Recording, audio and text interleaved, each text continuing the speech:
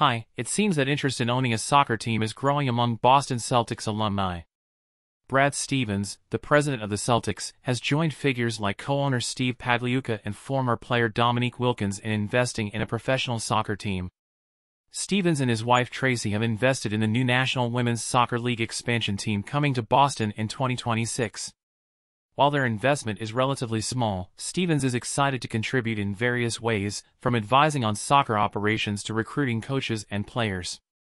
The opportunity arose when Jennifer Epstein, a Celtics minority owner's daughter, reached out to involve the Stevens in the soccer club. Thanks for watching, subscribe to my channel, bye.